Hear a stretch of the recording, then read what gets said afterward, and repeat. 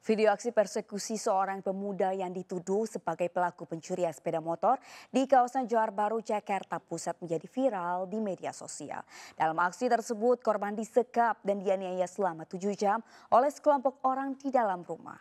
Hanya dalam kurun waktu singkat, polisi dapat mengamankan enam orang pelaku, dua di antaranya merupakan wanita.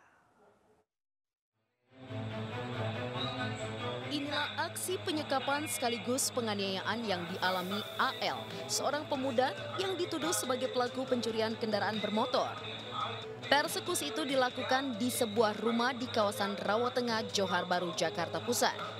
Tak hanya diinterogasi, AL juga dianiaya dengan tangan kosong, tongkat pancing, hingga ikat pinggang.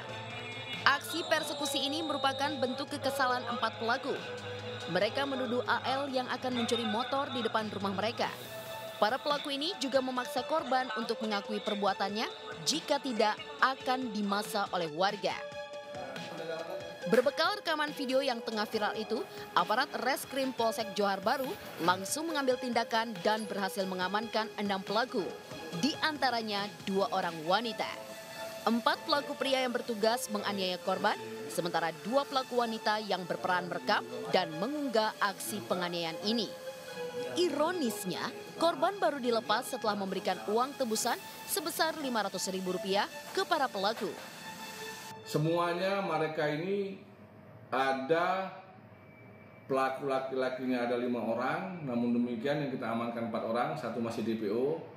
Untuk cewek yang memvideokan dan yang memiralkan ini ada dua orang.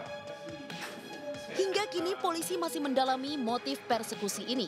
Apakah murni dilatar belakangi tuduhan pencurian sepeda motor atau ada unsur lainnya? Mengingat dalam unggahan video ada tulisan kalimat dendam. Dari Jakarta Pusat, Rani Sanjaya, iNews melaporkan.